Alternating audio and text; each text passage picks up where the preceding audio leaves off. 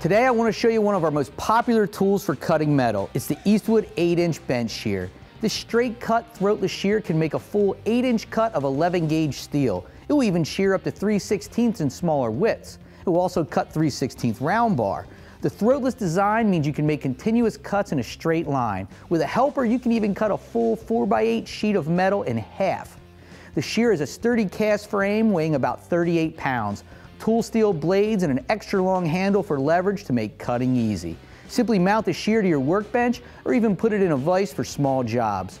When you're restoring a car, you're going to make repairs in sheet metal as well as thicker material. And a shear like this is great because you can use it to cut out patch panels and floor pans, and then also use it when you want to do some heavier fabrication. So click the button to visit eastwood.com and get your 8-inch bench shear today, or to just check out all of our other products for cutting metal like snips, electric shears, throatless shears, or even an air nibbler. And they're all going to help you do the job right.